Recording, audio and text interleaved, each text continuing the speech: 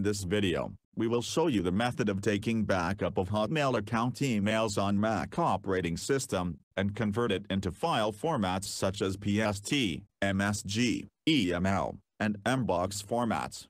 We bring you the perfect solution, with SysTools Mac Hotmail backup software. Now let's check out the main features of the software. The tool helps in taking backup of Hotmail account emails, contacts and calendars. Helps in taking backup of Live.com account data into PST, Mbox and MSG. The software comes with incremental backup option, and the software is compatible with Mac OS 10.8 and above versions. Now let's install and run the software. The software opens with an attractive user interface. Now enter the desired Hotmail mail account credentials in the respective field options below. And click Login button. If you are having any trouble logging in, make sure that the two-step authentication option is turned off. Clicking on the hyperlink below will redirect you to a web page showing you the step-by-step -step method of how to turn off two-step verification for Hotmail account. After turning off two-step authentication option, click Login button to proceed. In the next window, you can see multiple category options to choose. You can take backup of emails, calendars, or contacts, depending on your requirements.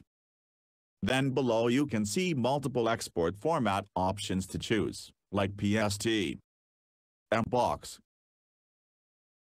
MSG, EML, and EMLX options to choose. Now let's choose the PST option in our example. And below you can see advanced settings to choose. Select corresponding checkbox option, and click Settings button. Now a new window opens with multiple advanced options to choose. Select the Date Filter checkbox option, in order to filter files according to certain date range and the delete after download option lets you delete selected mailbox from Yahoo Mail server after it gets downloaded successfully. Click Yes to delete the mails, or else click No to proceed. The software provides the Include folder option. This option lets you back up only the selected mailbox. Enter the folder name in the field option, and click Add button. Now the selected folder will be added. Again you can follow the same method to add more folders.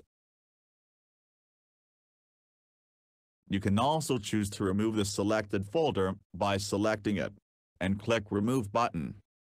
Exactly the same way, you can choose Exclude Sent Items and Deleted Items option in order to exclude certain folders from downloading.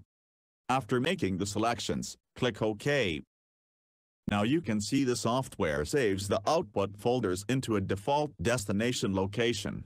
Click Browse button to change the default location, if required. After making the desired selections, click Start Backup button to initiate the backup process. Now you can see the backup process in progress. You can see further details as well. After the process completes successfully, click OK. Now let's check out the output files. Open the destination folder in which you have saved the files. Here you can see the export report along with the output files. You can open the output PST file in Outlook in order to preview its contents.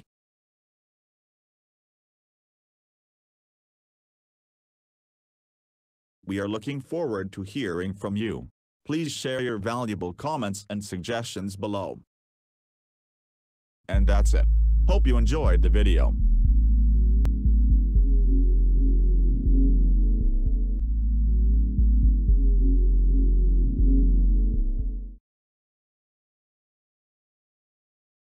Log on to the given product page for more details and purchasing the product.